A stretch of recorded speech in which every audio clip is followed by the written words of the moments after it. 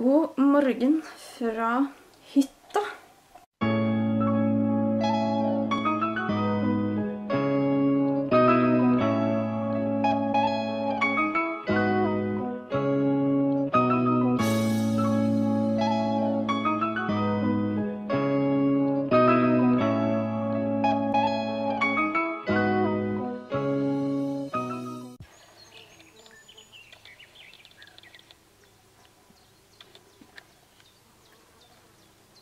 Se på det her, da.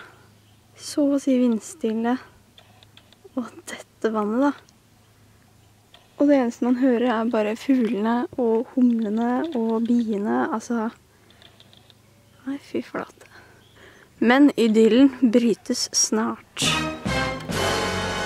For jeg skal inn på utedo. Har jeg hørt rykter om at det er insekter der inne som jeg ikke har lyst til at skal være der. Nemlig veps. Så jeg håper at de ikke er der nå, for da må jeg fjerne de. Det har jeg ikke så lyst til, kjenner jeg. Å, fy. Ja, der ser du. Mhm. OK.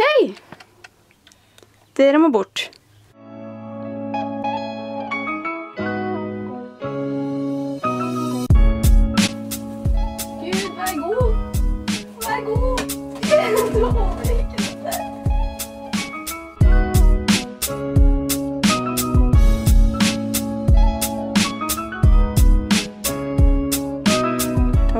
Dette skal jeg uh, Faen, de jævla fluene.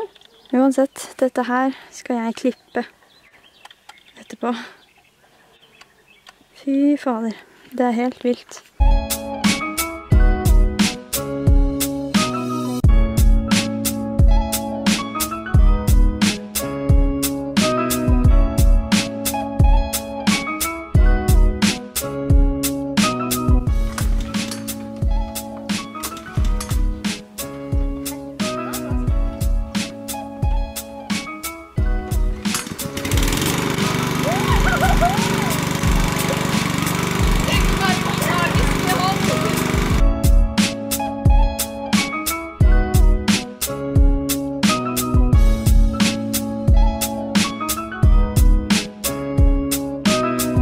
Se på det der.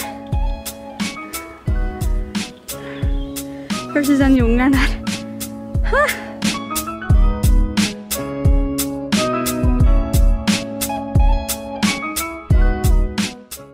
Nå har jeg i hvert fall fått uh, det aller, aller meste av eh, ja, både innkjørselen og plenene vi sikkert kommer til å ha lyst til å sitte på. Spesielt plena her nede. Så kan vi i hvert fall sitte her og nyte det å være på plena òg, istedenfor å bare bli spist opp av insekter og alt annet som driver og farter her. Nei, i dag er en skikkelig fin dag, altså. Herligheten.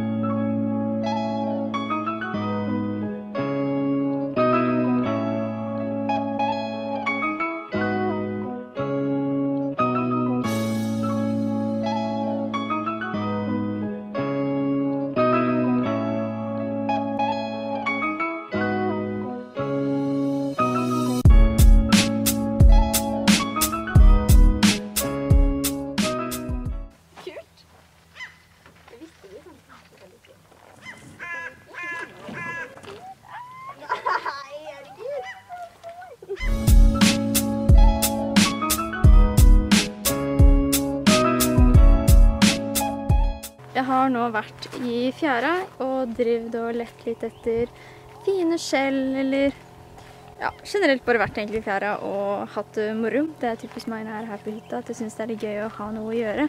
Jeg fant da Altså, jeg bare var ute i steinene, sånn som jeg pleier å være, og så bestemte jeg meg, for det var veldig lav eh, fjære i stad. Så jeg bestemte meg for å gå litt lenger bort enn der jeg pleier å være, ved å fjerne litt av tanga.